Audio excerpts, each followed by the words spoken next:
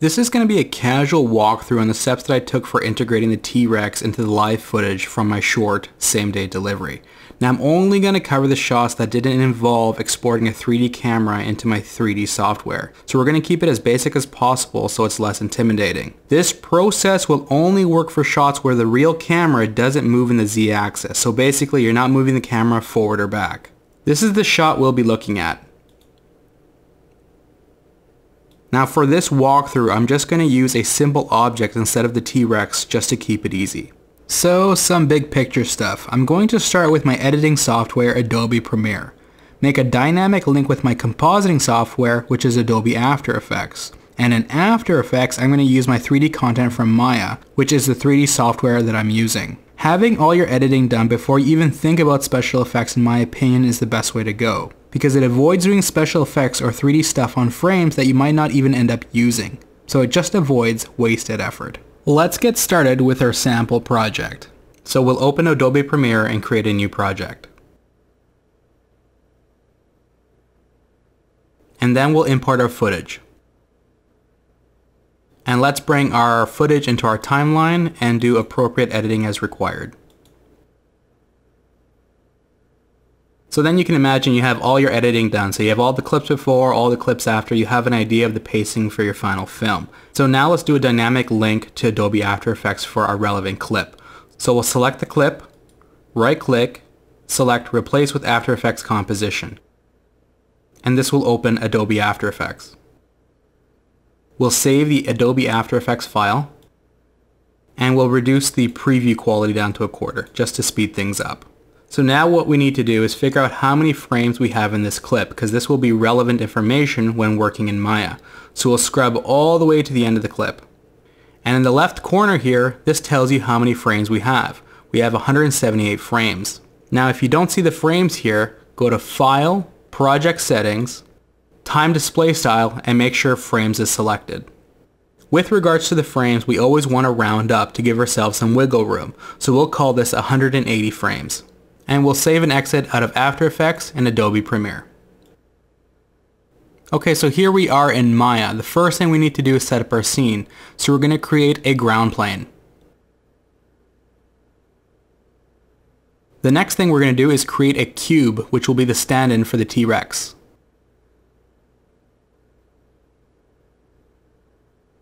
And now let's add some color through our hypershade.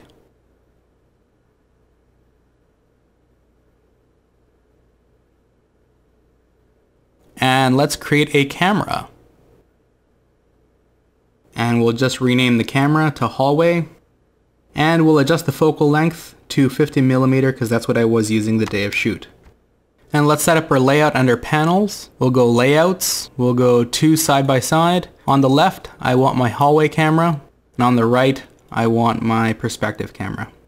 On my hallway camera, I'm going to go to view, camera settings, and I'm going to turn on my resolution gate and then I'm going to adjust the image size. To do that, I'll go up to render settings, clicking this button here, scroll down, and we'll set it to full 1080 HD.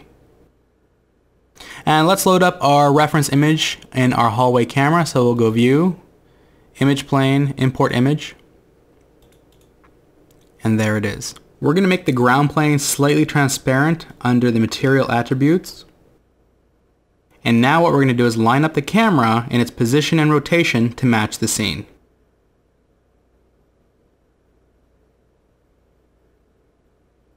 And then we can adjust the objects as required.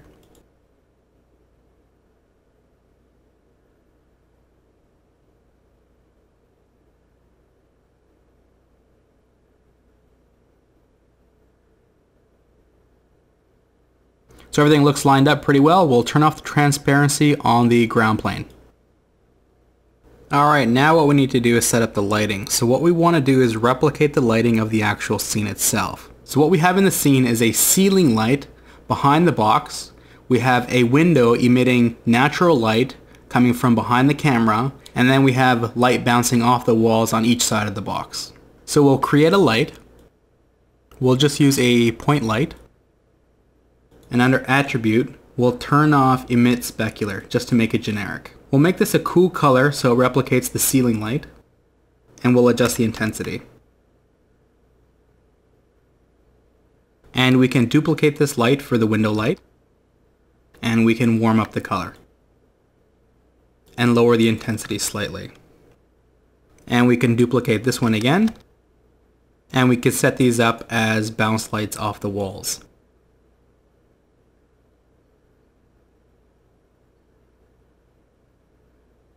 And there we have it. We have our ceiling light, we have our window light, and then we have the bounce lights on each side. Now what we need to do is go to our primary light, which will be our ceiling light, and we're going to turn on Emit Specular, and go down to Shadows, and select Use Ray Trace Shadows. Alright, now what we're going to do is a render test, so we'll start with our render setting. We're going to select Mental Ray, make sure we have our hallway camera selected, and under Render Options, we're going to turn off Enable Default Light.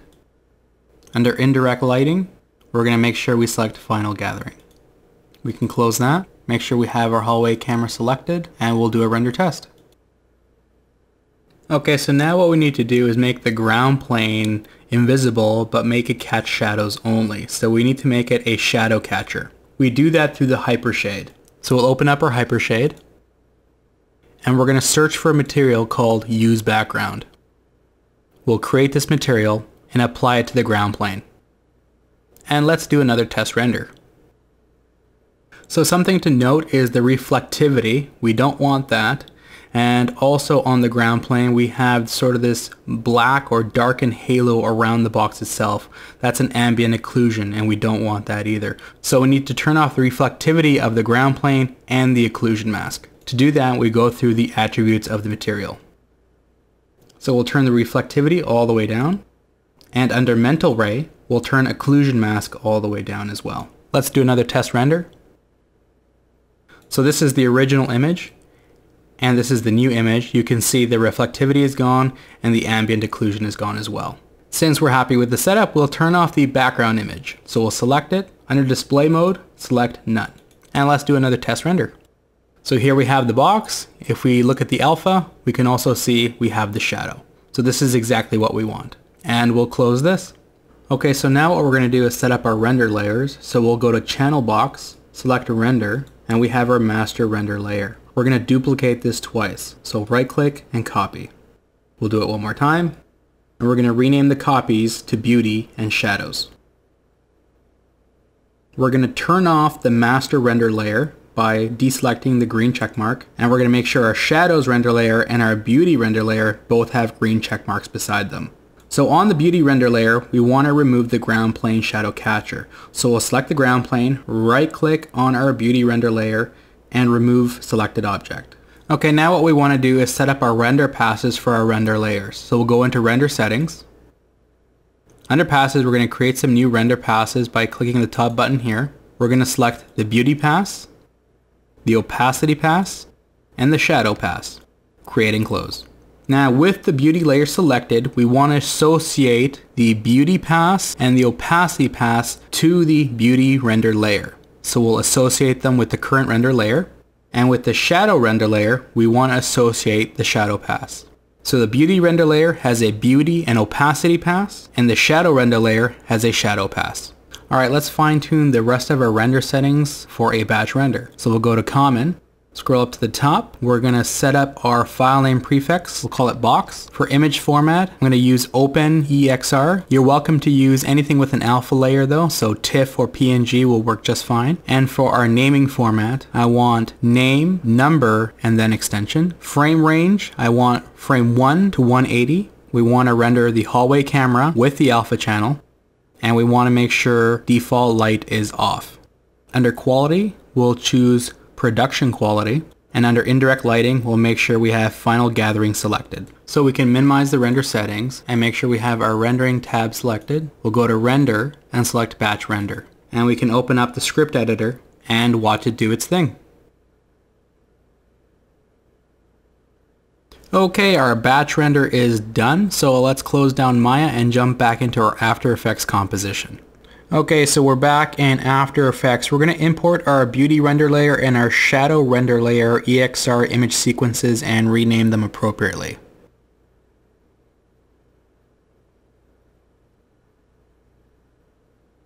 And now what we're going to do with each of the image sequences, we're going to reset the frame rate to match the project frame rate of 23.976. So we'll select it, right click, interpret footage, main, and then we can change the frame rate. Same with the shadows. And now what we're going to do is break apart the EXR into the render passes that we selected. The beauty, the opacity, and the shadows passes.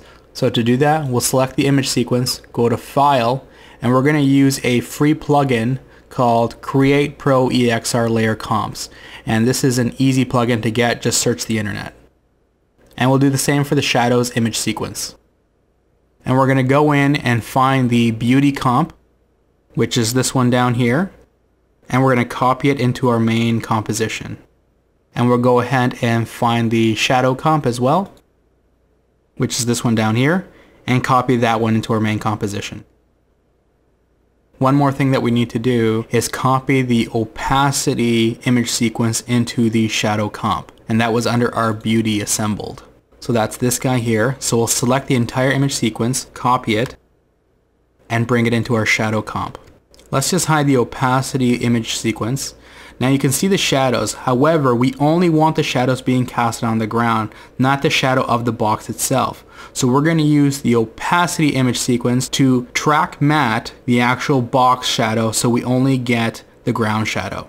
So what we want to do is hide the opacity image sequence, select the shadows sequence, and then we're going to go to track matte and select alpha invert matte and that's going to be off the opacity render pass and you can see now that it automatically deletes it. Now you can see around the circumference we have a slight edge that's easily fixed with a simple choker.